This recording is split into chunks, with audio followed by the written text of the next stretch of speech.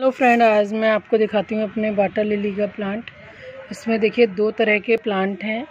एक वाइट और एक पिंक कलर का.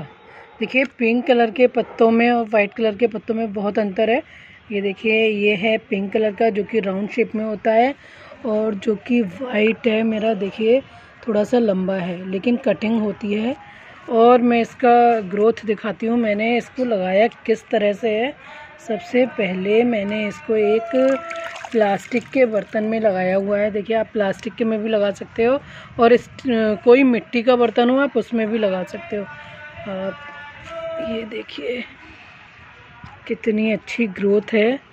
अभी कुछ दिन बाद ये मल्टीप्लाई करने लायक हो जाएगा। आसानी से मल्टीप्लाई भी हो जाएगा और मैं इसमें से निकाल के इसे बड़े टब में रख दूँगी क्योंकि ये प्लांट छोटा है, छोटे में इसकी ग्रोथ इतनी अच्छी नहीं हो पाएगी जितना कि बड़े में। तो मैं इसको बहुत जल्दी इसमें से निकाल दूँगी।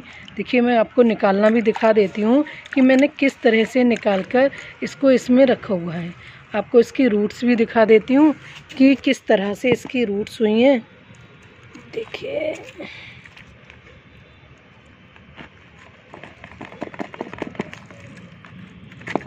बहुत जल्दी मल्टीप्लाई हो जाता है। मैं अपनी एक फ्रेंड के यहाँ से लाई थी और इसमें देखिए रूट्स आप देख सकते हैं। कितनी अच्छी रूट्स निकली है। ये देखिए। और मैं इसको डायरेक्ट ऐसे ही इसमें रख देती हूँ, क्योंकि इसमें मेरा ऑलरेडी मिट्टी और सभी चीज़ है। देखिए, आप इसकी ग्रोथ देखिए, कितनी अच्छी रूट्स हुई हैं। तो फ्रेंड्स इसको लगाना बहुत आसान है। आप कहीं से भी ले सकते हो मल्टीप्लाई हो जाता है। और बस केयर इसकी यही है, इसका पानी आपको बहुत पंद्रह दिन में कभी कभी शुरू शुरू में तो आठ दिन के अंतराल में आपको इसको चेंज करना पड़ेगा।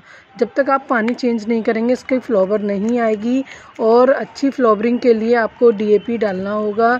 आप डीएपी की मात्रा इसमें डालें। ज़्यादा नहीं डालनी है, बस आठ, दस दाने डालने हैं, जिससे आपकी ये ग्रोथ भी बहुत अच्छी हो जाएगी। मैं अब आपको दिखाती हूँ। मेरे वाइट वाले में कई कलियाँ आ चुकी हैं, लेकिन मैं किसी कारणवश इसमें पत्ते नहीं, मैंने ये चेंज नहीं किया पानी। तो इसके ग्रोथ ख़राब हो गई और इसमें कलियाँ भी गलनी स्टार्ट हो गई तो फ्रेंड्स ये देखिए, मेरा वाटर लिली का प्लांट अगर आपको पसंद आया तो please like share and subscribe कीजिएगा। Bye friends